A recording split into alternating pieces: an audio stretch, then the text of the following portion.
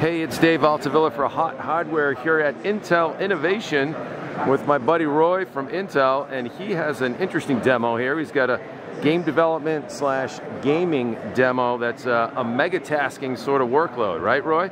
Yeah, so so we believe that the 13th generation processor that we just launched is capable of more than just gaming. So what we have here is we have some tasks that are typical of a game developer. So Chris, my colleague, has Unreal Engine 5 uh, and he's going to start cooking the lighting in that scene in Unreal Engine 5. And what you'll see is the behavior of Windows 11 and our thread director hardware schedules that on all 32 threads in this machine. Remember, we have eight P cores and 16 E cores for a total of 32 threads.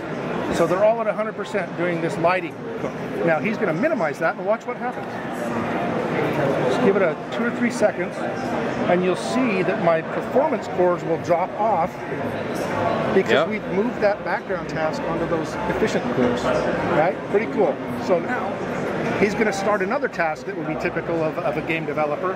So go ahead and kick that uh, Blender render off, Chris. All right, now you'll see, again, we'll go back up and start using all of our performance cores to do that work. And now he's going to minimize that task as well into the background and you'll see once again we have those performance cores at our disposal to do something in the foreground. And in this case, since he's a game dev, now he's going to play a little riff breaker because he's getting all that work his boss wants done and he can game. Nice. So performance cores on the top in this grid, E-cores on the bottom? Yep, and this is just Windows 11's default um, task manager. Um, and it shows the performance cores, which there are eight of, and their sibling thread because of multi-threading. Right. And then the 16 E-cores. E-cores are loaded up pretty significantly here while he's gaming. Interesting. And, yeah, and he's getting really great, way better than 60 frames per second in his game. He's having a great gaming experience. The machine's working for him. He can have a little fun. There you go. Intel Core i9 13900K on demo, megatasking and Intel Innovation.